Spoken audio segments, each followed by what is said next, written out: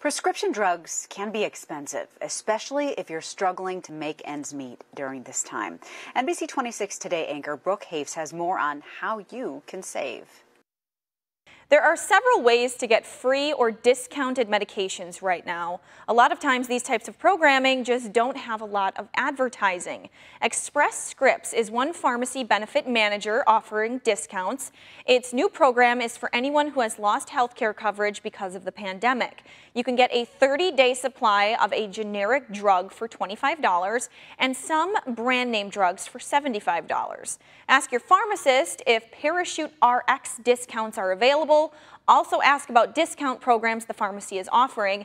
The National Community Pharmacists Association says both independently owned pharmacies and large chains have these programs.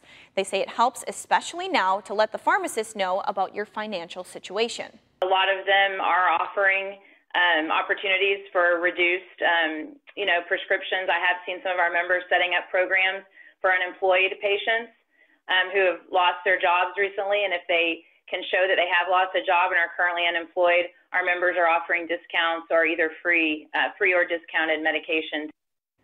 Another way you could get free or discounted prescriptions is through a pharmacy that partners with a community health center. About one in five independent pharmacies do this. Some that are part of national chains offer this too. Ask the drugstore if it's a 340B pharmacy. Then ask for the name of the health center it partners with so you can connect with them and see if you qualify.